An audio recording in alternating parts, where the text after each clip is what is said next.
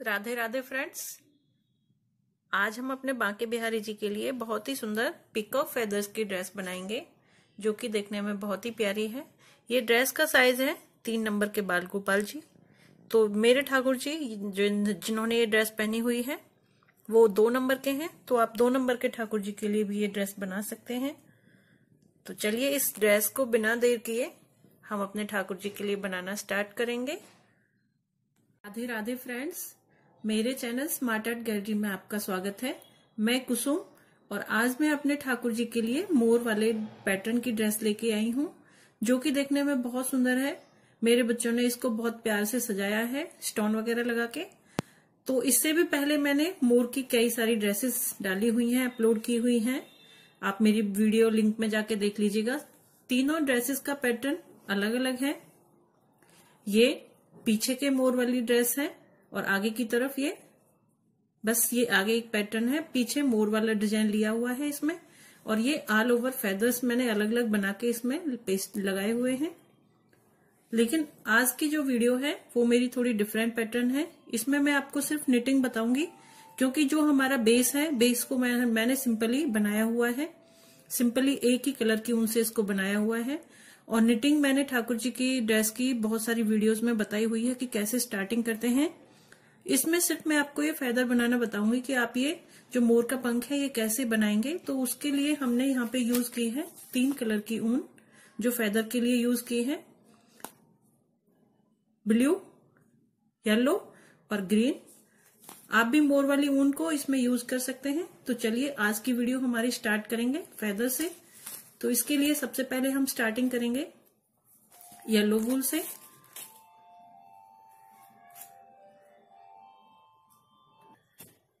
हम यहाँ पे एक लूप बनाएँगे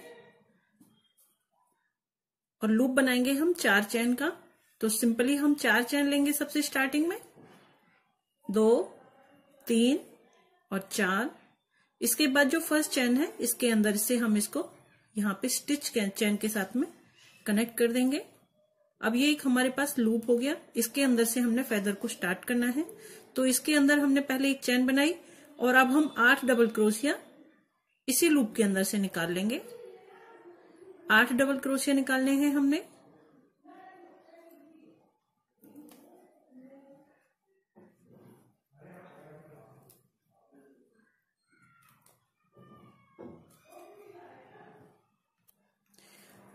आठ डबल क्रोशिया इसमें ले लिए। आठ डबल क्रोशिया लेने के बाद राउंड को हम मोड़ लेंगे।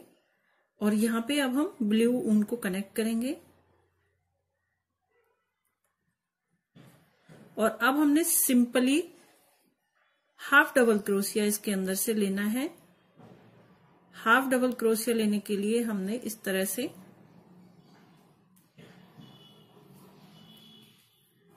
निकालेंगे। या येलो उनको थोड़ा खींच देंगे। और हाफ़ डबल क्रोशिया को हम एक बार में ही निकाल लेंगे।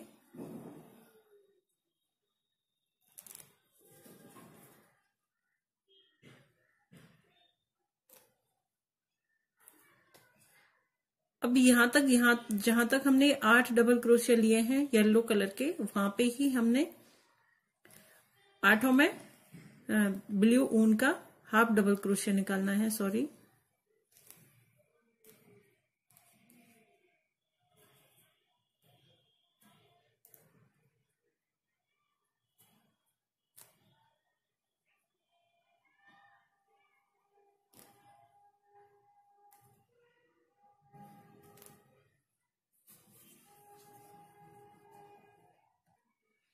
इन आठों चैनों में हमने हाफ़ डबल क्रोशिया निकाल लिया है। इसके बाद जिस लूप से हमने एक ही लूप से येलो निकाले थे, आठ डबल क्रोशिया निकाले थे, अब वहाँ पे हम सात डबल क्रोशिया निकालेंगे ब्लू कलर के।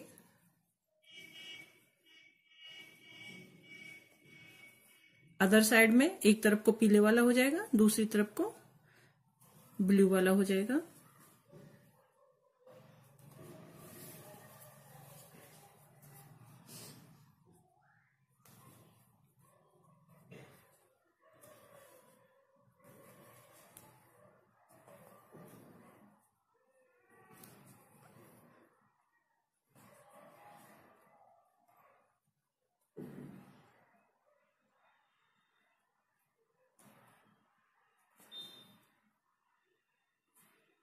सात डबल क्रोशिया हो गए। सात डबल क्रोशिया के बाद अब हमने यहाँ पे स्टार्ट किया था इसको और यहाँ पे ही स्किप चैन के साथ में इसको हम कनेक्ट कर देंगे। एक सिंपल चैन बनाएँगे। अगेन यहाँ पे कनेक्ट करेंगे और इसको धागे को हम यहाँ पे ही छोड़ देंगे। अब इसके बाद अब हम इसमें ग्रीन धागा लगाएँगे।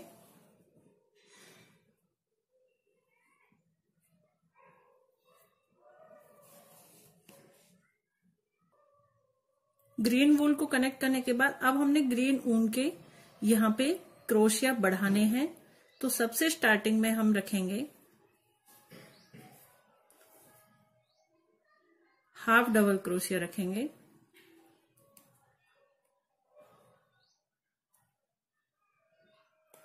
ब्लू धागे को थोड़ा खींच देंगे। नेक्स्ट में दो हाफ़ डबल क्रोशिया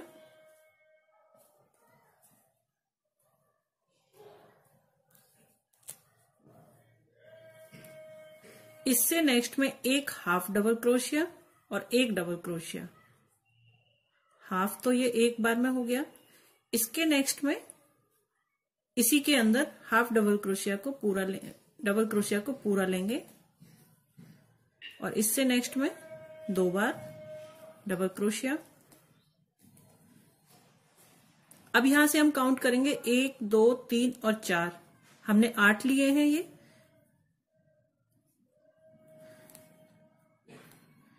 इसके अंदर हमने दो बार हाफ़ डबल क्रोशिया लिया। अब इसके बाद दो चैन बनाएँगे। और इससे नेक्स्ट वाले में हम दो बार डबल क्रोशिया लेंगे।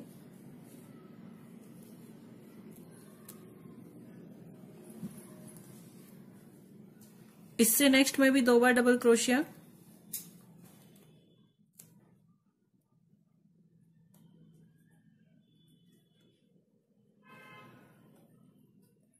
इससे नेक्स्ट में एक बार हाफ़ क्रोशिया और एक बार डबल क्रोशिया तो पहला डबल क्रोशिया और दूसरा हाफ़ डबल क्रोशिया इससे नेक्स्ट में दो हाफ़ डबल क्रोशिया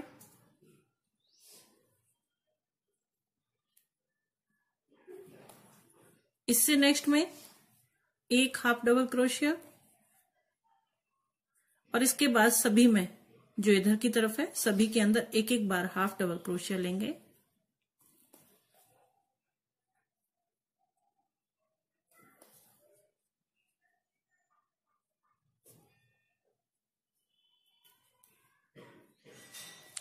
अब यहाँ पे ध्यान देंगे जो हमने सात डबल क्रोशिया यहाँ पे लिए हुए हैं ब्लू कलर के। तीन इधर और तीन इधर। अब जो ये सातवां है, यहाँ पे हम दो बार हाफ़ डबल क्रोशिया निकालेंगे, एक चेन के अंदर से।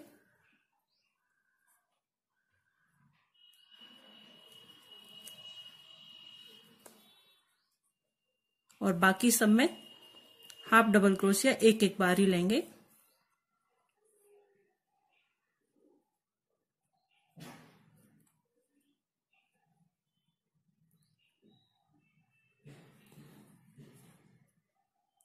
यहाँ पे भी हाफ़ डबल क्रोशिया लेंगे एक। और इसको जहाँ से हमने स्टार्ट किया था, उसको स्किप चैन के साथ में इसको यहाँ पे कनेक्ट कर देंगे। इस तरह से पूरा हमारा जो मोर का पंख है, तैयार हो जाएगा।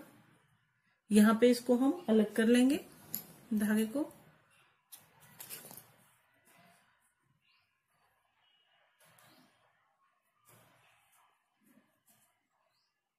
ये धागे भी अलग कर लेंगे कट करके। ये मोर पंख का ऊपर वाला पार्ट हो गया और ये नीचे वाला। अब यहाँ पे हमने दो हाफ़ डबल क्रोशिया लिए थे, एक ही चैन के अंदर। वहाँ पे अब हम ये जो फेदर है, इसमें दिखाई दे रहा होगा, ये जो आगे रस्सी है, जिससे हम इसको कनेक्ट करेंगे, उसको जोड़ेंगे और इसको बनाएँगे यहाँ पे। कम से कम सात या आठ चैनों का, और जितना भी बड़ा घेरा है, घेरे के हिसाब से आप इस चैन की लंबाई रखेंगे।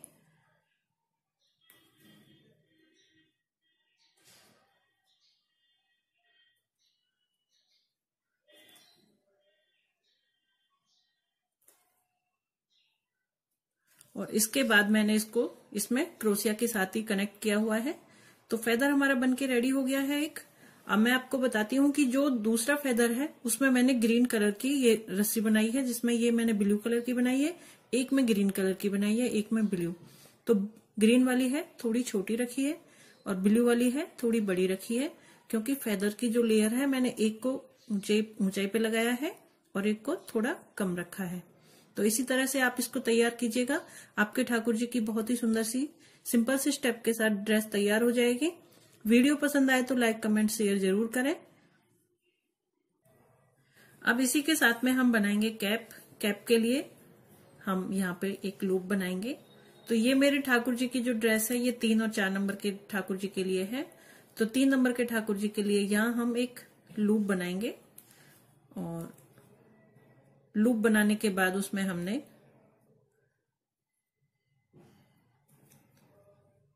तेरह या चौदह, इसमें हमने डबल क्रोशिया रखने हैं इसी लूप के अंदर।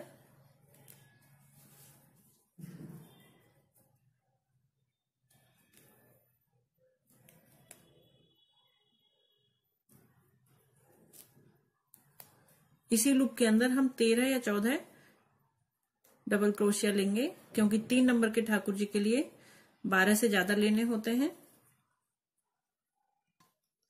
इसको यहाँ पे कनेक्ट करेंगे, जो स्टार्टिंग में तीन चैन बनाई थी, उसकी। इस तरह से कनेक्ट कर लिया। कनेक्ट करने के बाद धागा चेंज करेंगे। धागा हमने मोर वाले ही लेने हैं सारे। तो यहाँ पे दो चैन बनाई। येलो धागे को थोड़ा खींच देंगे। दो चैन बनाने के बाद अब हमने इसमें एक चैन और बनाएँगे। अब हमने डबल क्रोशिया निकालने हैं इसके अंदर से।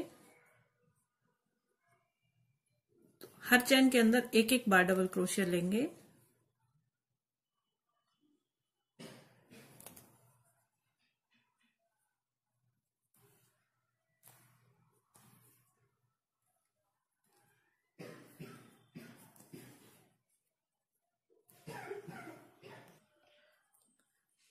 इस तरह से हमने इसमें डबल क्रोशिया ले लिए हैं। और यहाँ पे इसको हम कनेक्ट कर लेंगे। कनेक्ट करने के बाद अब हमने इसमें ग्रीन कलर को ऐड करना है।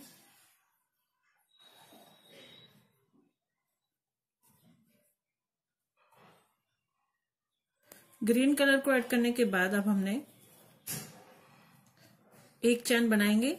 और अब की बार की जो रो रहेगी वो हमारी सिंगल क्रोशिया की रहेगी सिंगल चैन रहेगी।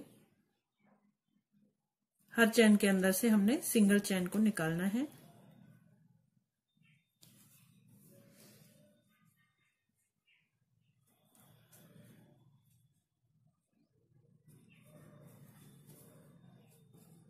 इस तरह से। एक एक सिंगल चैन लेते हुए इस राउंड को भी हम पूरा कर लेंगे।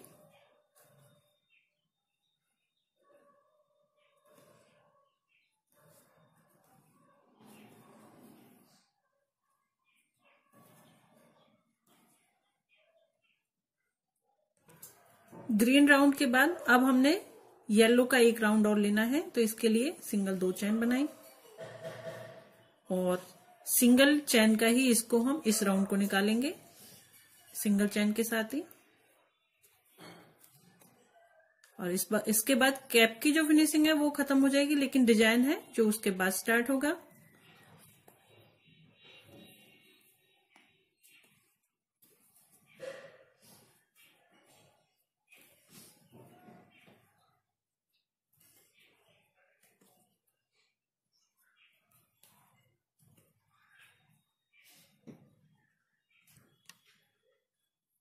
इसके बाद अब यहाँ पे हमने इसको कनेक्ट कर दिया।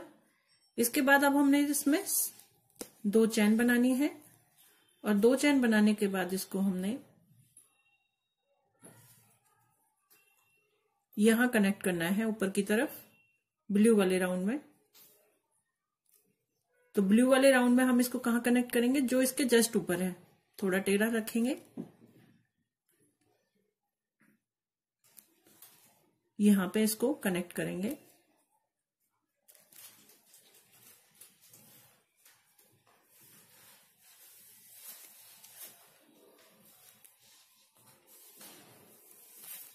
इस तरह से फिर से दो चैन बनाएँगे और दूसरी साइड में लाते हुए इसको यहाँ पे हम कनेक्ट कर देंगे। एक और दो चैन बीच में स्किप करनी है और फिर से इसको यहाँ पे हम स्किप चैन से ही कनेक्ट कर देंगे। अब इसके बाद इसमें हमने बनाने हैं एक तरफ़ तीन डबल क्रोशिया लेने हैं।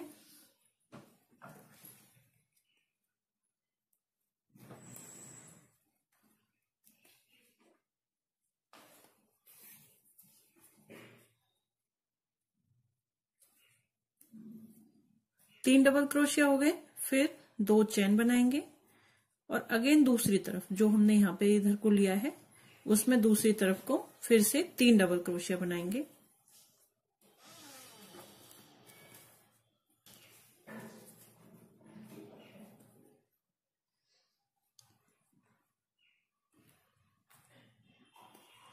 तीन डबल क्रोशिया के बाद इसको हम एक चैन बनाएँगे और इसको जहाँ से हमने स्टार्ट किया था, वहाँ पे ही इसको बंद कर देंगे और धागे को निकाल देंगे।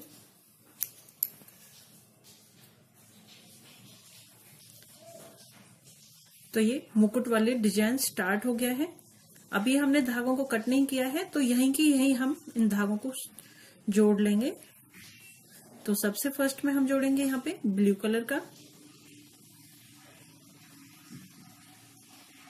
जहाँ पे हमने एंड किया है, वहाँ पे ही ब्लू कलर की चैन स्टिच स्टार्ट करेंगे।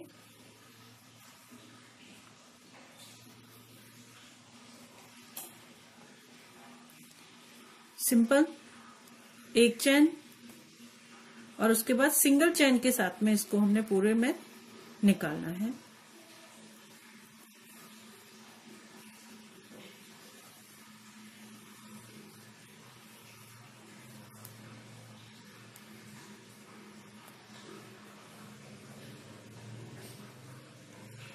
अब जहाँ पे डबल क्रोशिया हमने यहाँ पे दो चैन बनाए थे, वहाँ पे हमने पहले तो एक सिंगल चैन लेनी है।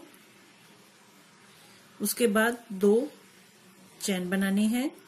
फिर से सिंगल क्रोशिया निकालना है और फिर हर एक में एक एक बार क्रोशिया निकालते हुए इस राउंड को पूरा करेंगे।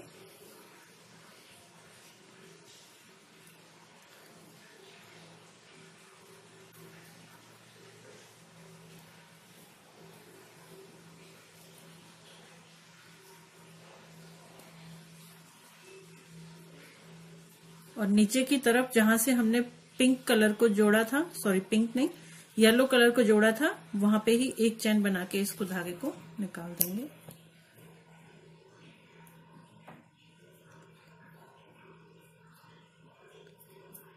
अब इसके बाद ग्रीन कलर का डिज़ाइन आएगा।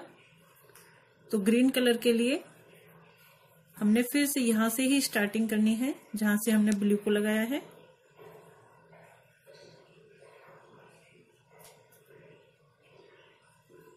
एक सिंगल चैन बनाएँगे। इसके बाद सभी के अंदर हाफ़ डबल क्रोशिया लेना है अब हमने। एक बार स्टार्टिंग में, दूसरे में दो बार हाफ़ डबल क्रोशिया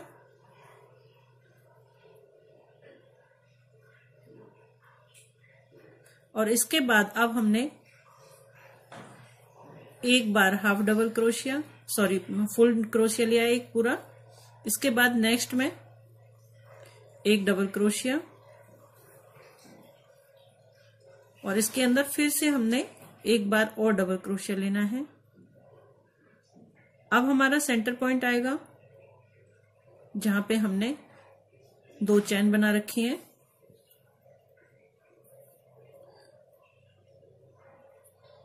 अब यहाँ पे हमने दो बार डबल क्रोशिया लेना है, फिर दो चैन बनानी है। और फिर से यहाँ ही, इसी लूप के अंदर ही हमने दो बार डबल क्रोशिया और लेना है। चाहे तो आप यहाँ पे मोर पंख को भी सेट कर सकते हैं, अगर आपसे ये ना बन पाए तो। दो डबल क्रोशिया हो गए। इसके बाद यहाँ पे हमने दो डबल क्रोशिया एक ही चैन के अंदर से लेने हैं। इसके बाद एक डबल क्रोशिया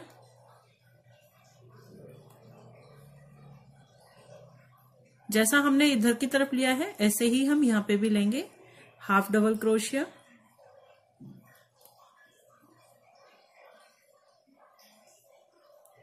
हाफ़ डबल क्रोशिया एक सिंगल क्रोशिया और एक सिंगल चैन चैन के साथ में इसको यहाँ पे हम पॉइंट पे कनेक्ट कर देंगे। ये हमारा मोर पंख का जो हमारे ठाकुर जी का हैट है, वो बनके रेडी है। एक सिंगल चैन बनाएँगे और धागे को कट कर देंगे। अब जो ये धागे निकल गए हैं, इनको हम पीछे की तरफ़ लेके आएँगे। क्रोशिया से ही निकाल लेंगे।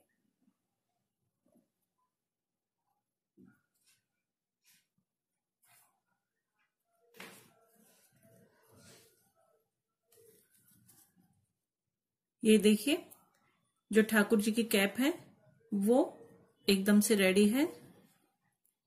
टेढ़े उसमें। आप इसमें कोई मोती जैसे मैंने इसमें डेकोरेशन कर रखी है, इसी तरह से भी आप इसमें कर सकते हैं। और इसको हम सेंटर पॉइंट पे, पीछे की तरफ़ से जो हमारे पास ये धागे हैं, उन्हीं से कनेक्ट कर देंगे। धागे को यहाँ से निकालेंगे, जहाँ ब्लू धागा है।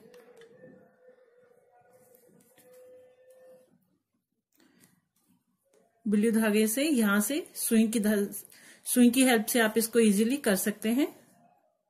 मेरे पास यही धागे हैं, इन्हीं से मैं कर दूँगी।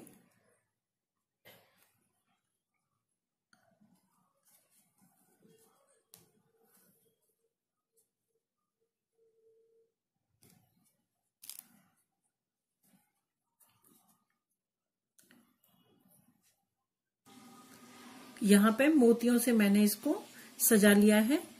तो आप भी अपने ठाकुर जी के लिए ज़रूर ये ट्राई कीजिएगा। ड्रेस बहुत ही प्यारी है। किसी भी ओकेजन पे आप अपने ठाकुर जी को बहुत ही खूबसूरत सा सजा सकते हैं। अगर वीडियो पसंद आए तो लाइक कमेंट शेयर करना ना भूलें। और इस तरह की नई नई वीडियो के लिए मेरे चैनल स्मार्टर घर को सब्सक्राइब करना ना भूलें। राधे राधे